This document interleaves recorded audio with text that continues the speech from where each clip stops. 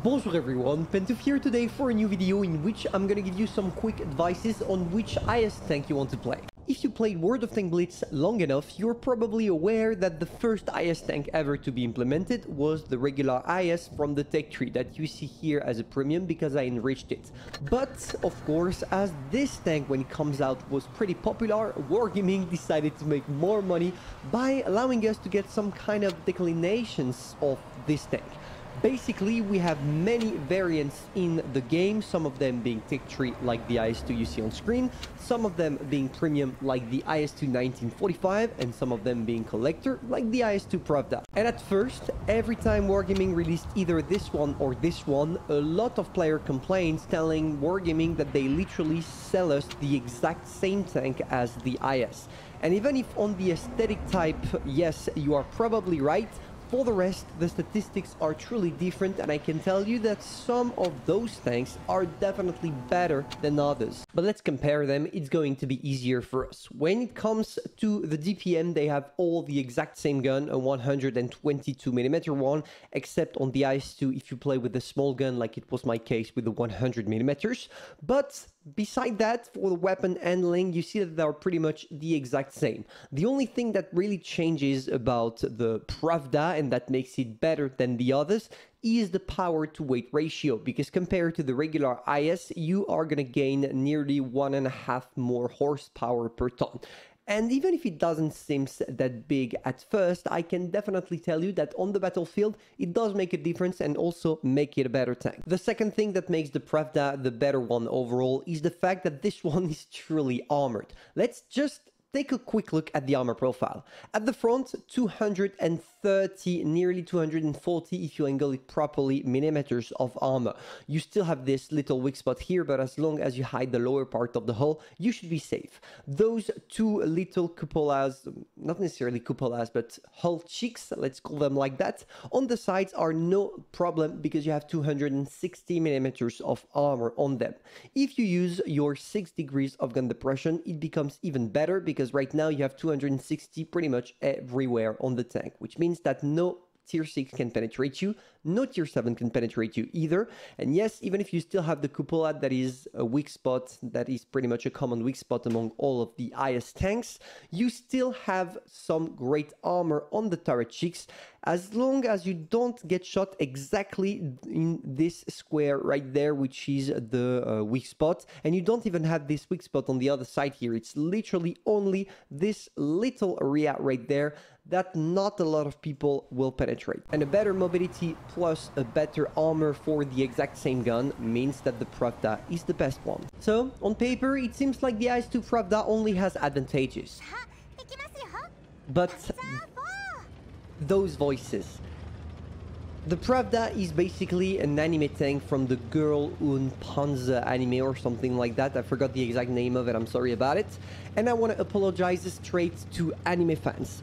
I'm not judging you at all, but personally I hate the voices from anime. The overreacting thing is something I really, really hate.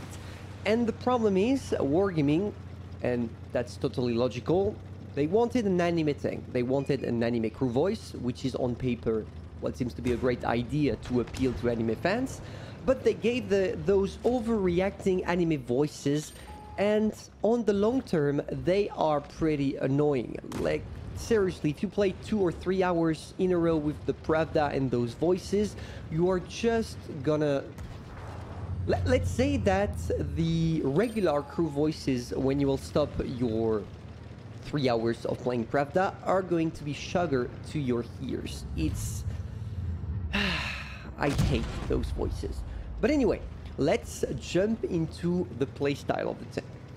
As I told you already, you need to hide the lower part of the hull. To do this, the best is finding an hull-down position.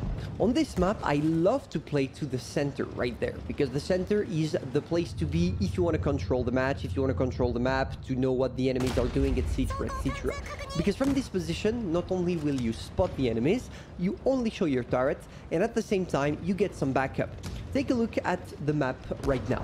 You see that all my teammates are with me, which means that I'm immune to getting pushed. And of course, it's only a matter of time before we manage to kill uh, literally all of them one by one because they will have to push on us. As long as nobody can go on the cap circle, this position is safe. Now, you are probably seeing that the CS52 is getting really, really annoying. Uh, not uh, because uh, he was trying to piss me off or anything like that. He was just playing regularly, but he took the exact same positions as me for the whole game. And to be honest with you, even if that's kind of bad, I was wishing for him to die in games so I can get peacefully to my positions. Like this, for example, can't shoot, taking shots, taking risks also because I can't shoot because of the CS. So what are we to do right now? You see that currently it's not necessarily working pretty well because we only have 6 degrees of gun depression. Even if it's in the norm, on most maps it's not going to be enough. Of course, from time to time you are going to be able to snap uh, a couple of shells if you're lucky enough, which was my case with the 1850A. But it's not something that will save you or will make you enjoy the tank at all, specifically when you need to snapshot.